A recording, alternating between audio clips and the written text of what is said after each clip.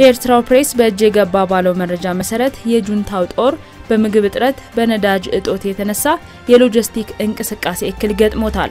በመገናኛ ችግር ደግሞ መሰረታዊ እዝ ከኃላፊዎቻቸው ጋር መገናኘት ባለመቻላቸው በተፈጠረው ከፍተኛ ድንጋጤ ከግንባር ቦታቸው በርካታ ወታደሮች እየሸሹ መሆናቸው ተዘግቧል። ልዩ ኃይሉ እንዴት በዚህ አጭር ጊዜ የኢትዮጵያ ጦር ሳይነግረን መቀሌ ደጅ እንደመጣ ማብራሪያ እንፈልጋለን በማለት ኃላፊዎቻቸውን እያስጨነቁ መሆኑን ለማወቅ ተችሏል። ትላንት ማምሻውን የትህነግ አራት ቪኤት መኪኖች በሰው አልባ አውሮፕላን ተመተዋል።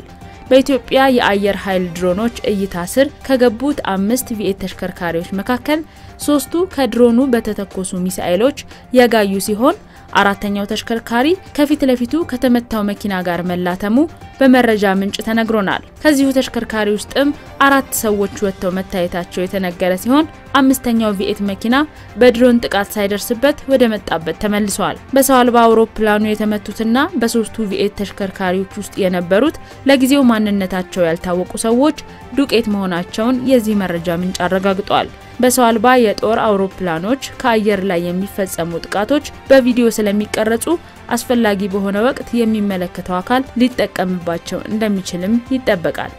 ቁጥራቸው ከ20 በላይ የሚደርሱ የብሔራዊ የደህንነት መስሪያ ቤት በተለያየ የስራ ማዕረግ ተቀምጠው ሀገርን ሲያስወጉ የነበሩ ዛሬ ገቢ ተደርገዋል። ከነዚህ መካከል ዋና ዋናዎቹ አቶ መሐመድ ኢብራሂም የብሔራዊ መረጃና ደህንነት የሳይበር ዋና ቢሮ ዳይሬክተር። ማንኛውንም ግለሰብ ስልክ እየጠለፈና በጂፒኤስ እየተከታተለ የሚያስገድል። በመኖሪያ ቤቱ ከኢትዮጵያ ቴሌኮሙኒኬሽን እውቅና ውጪ የሳተላይት ግንኙነት የሚያደርግ። በመኖሪያ ቤቱ የራሱ የሆነ የደህንነት መከታተያ መሳሪያዎች የነበሩት። በአንድ ወቅት አቶ ተመስገን ጥሩነህን የአማራ ክልል መስተዳደር የነበሩትን ሚስት ልጆቹን ከመኖሪያ ቤታቸው አውጥተው ከነቤት እቃቸው አስፓልት ዳር ወርውሮ ይሳለቅባቸው የነበረ። ሁለተኛው አቶ በሱፍቃድ ደጀኔ የአማራ ክልል የውስጥ ደህንነት ባልደረባ የነበረ ማንኛውንም ግለሰብ ስልክ እየጠለፈና በጂፒኤስ እየተከታተለ የሚያስገድል ከቅማንት ብሔር ጋር በመሆን ከህወሀት ጋር መረጃ እየተለዋወጠ ሁለቱን ብሔር ሲያጋድል የነበረ። ሶስተኛ አቶ እንድሪስ ቶምሳ የሀገር ውስጥ ደህንነት የምስራቅ ወለጋ ኦነግ ሸኔን ያደራጀ መረጃ የሚሰጥ ወለጋን የሚያስወጋ። አራተኛ አቶ ቁምላቸው ውብሸት የብሔራዊ ደህንነትን የመረጃና ደህንነት ትንተና ኃላፊ በደህንነት ቢሮ የተገኙ ወንጀሎችን አዛብቶ ያልሆነ መረጃ እየሰጠ ሀገር እንድትተራመስ የሚያደርግ የራሱ የሆነ የሞባይል ሳተላይት ያለው ሲሆን 19ኙ አማራ በሚኖሩባቸው አጎራባሽ ክልሎች ጉራ ፈርዳ፣ ሆሮ ጉድሩ፣ ወለጋ፣ መተከል፣ በጎንደር ቅማንትና አማራ ክልል የሚተራመሱትን እያወቁ እንዳላወቁ መረጃ እያዛቡ እየተነተኑና መረጃ እየሰጡ ሲያስጨፈጭፉ የነበሩት ዛሬ ገቢ ተደርገዋል። ጁንታው ከምድርም ከሰማይም የሚወርድበትን መብረቃዊ ጥቃት መቋቋም ተስኖታል። የትነግ ጁንታ ከራያ አላማጣ፣ ከራያ ጥሙጋና ከግራ ካሱ አካባቢዎች ያሸነፈውን ዘጠኝ ታንኮች በራያ ጨርጨርና በራያ ባላ አካባቢዎች አሰልፎ ነበር። በአንዱ ቦታ ሶስት፣ በሌላኛው ሁለት፣ በሌላኛው ሶስት፣ በሌላኛው ቦታ ደግሞ አንድ ታንክ አስቀምጦ ነበር። ጁንታው በየቀኑ እየተሸነፈ ሲሄድ ተስፋ ቆርጦ ከትላንት ወዲያ ጀምሮ እስከ ትላንትናዋ የመጨረሻዋ ሰዓት ድረስ ህዝቡን ጨፍጭፎ ለመውጣት ወሰነ። ቀጥሎም የዘጠኙን ታንኮች አፈሙዝ ህዝቡ ወደሚኖርባቸው መንደሮች አደረገ። ከዚያም ወደ ህዝቡ መተኮስ ጀመረ። በህዝባችን ላይ ጉዳት አደረሰ። የደረሰውን ጉዳት ከድል በኋላ የምንገልጸው ቢሆንም የራያ ባላ ህዝባችን ቀየውን ለቆ ተሰደደ። የቡታ መርፈታና ዙሪያውን ያለው ህዝባችን ጫካ ገባ።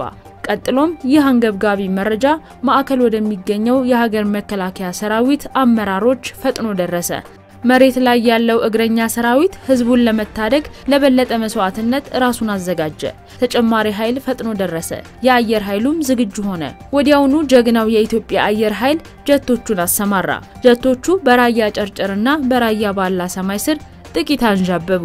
እጅግ በሚያስደንቅና ተአምር በሚመስል ሁኔታ ዘጠኙንም የጁንታ ታንኮች ከመቅስፈት ባሉበት አመከኗቸው።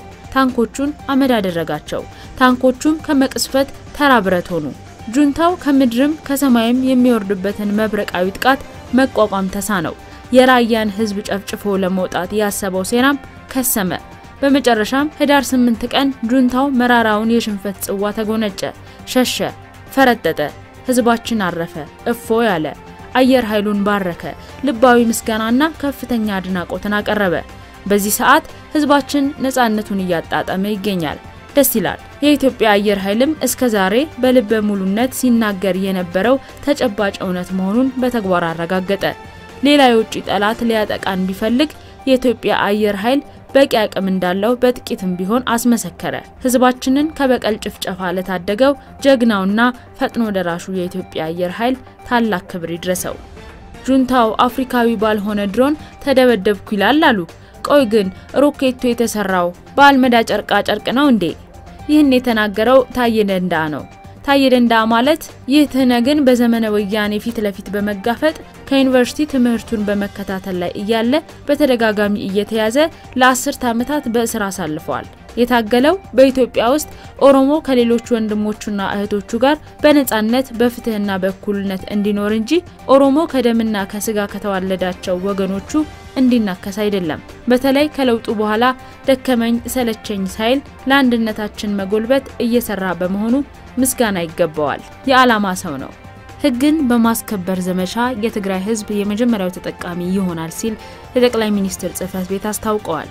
የኢትዮጵያ ፌዴራል መንግስት የህግ የበላይነትን ለማስከበርና ህገወጥ ወንጀለኞችን ለፍርድ ለማቅረብ ያለውን ቁርጠኝነት በድጋሚ ያረጋግጣል ሲል የጠቅላይ ሚኒስትር ጽህፈት ቤት ገልጸዋል።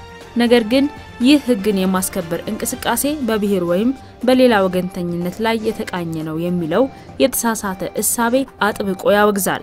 በአሁኑ ወቅት በትግራይ የሚካሄደው ህግ የማስከበር ስራ በዋነኝነት ኢትዮጵያን በማተራመስ ላይ በተሰማሩት ስርዓት አልበኞች በተንኮልና በሴራ በተሞሉ የህወሀት ቡድን አባላት ላይ ያነጣጠረ ስለመሆኑ ማንም ሰው ጥርጣሬ ሊገባው አይገባም ብሏል በመግለጫው። በትግራይ ክልል ህዝቡ ላይ ሳይቀር የከፋ በደል የፈጸመውን ይህን የህወሀት ጁንታ የወንጀል ሰንሰለት ለማስቆም የፌዴራሉ መንግስት ቆርጦ ተነስቷል ሲልም ነው ያስታወቀው። በዚህ ህግን የማስከበር ዘመቻ የትግራይ ህዝብ የመጀመሪያው ተጠቃሚ ይሆናል ያለው ጽህፈት ቤቱ ለኢትዮጵያ ያለው ራዕይ በብዝሃነት የሚኮሩ ብሔር ብሔረሰቦች በአንድነት የሚኖሩባት የበለጸገች ኢትዮጵያ ማየት መሆኑን አስታውቋል። የትግራይ ህዝብ ህዝባችን ነው። በዚህ ህዝባችን ላይ ምንም አይነት ክፉ ነገር እንዲደርስ አንፈልግም። ይህንን የሚያደርጉትን አንታገስም ሲል ዛሬ ህዳር 9 ቀን ባወጣው መግለጫ ገልጸዋል። ለሰዓቱ የነበሩን አዳዲስ መረጃዎች ይህን ይመስሉ ነበር። በቀጣይ በሌሎች መረጃዎች እስከምንገናኝ መልካሙን ሁሉ ተመኘን።